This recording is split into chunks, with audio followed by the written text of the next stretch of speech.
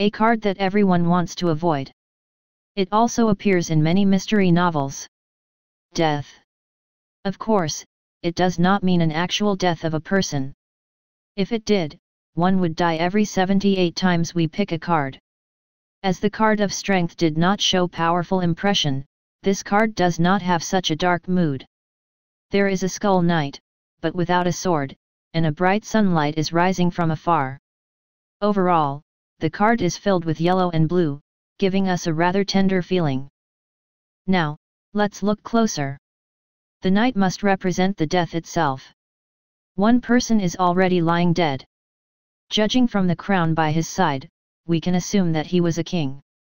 This means that something we cherish, something that used to support us, is gone. The death is proceeding forward.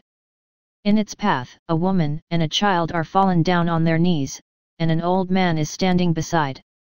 He is wearing a hat that resembles the bishop of the chess, so I guess he is a bishop. Death comes to everyone, whether it may be an adult, or a child, a man, or a woman, a priest or not. This card shows us that the current situation cannot be avoided. Look at the death itself. The skull, a white horse, a black armor, and a black flag with a white flower. The main colors are black and white. Achromatic colors imply that there are no feelings involved. It just needed to be done. That is what this card differs from justice. It does not blossom because it is right, nor does it wither because it is wrong. It also differs from the Wheel of Fortune, in that the Wheel of Fortune stands for a change, while this one usually means the end. The end may actually be death. But it could also mean the end of a career, abandoning our property, or giving up our plan. One may say it is too early to finish, but the death comes to a child.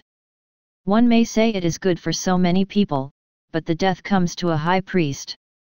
It may be something important or meaningless, splendid or simple. And as are the cases with most deaths, we may realize what we give up after the death has come and gone.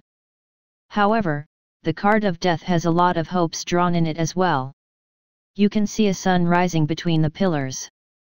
In order to get there, you may need to give up your crown, take off the glorious robe, and climb up the stiff hill. A ship is already waiting for us to carry us to the other side. We may have already realized that we should give up the current problem, and move on to the next. One may think of bad meanings from the death card, but death does not come to hurt us. It simply tells us that we need to be daring and give up the current comfort, in order to start anew.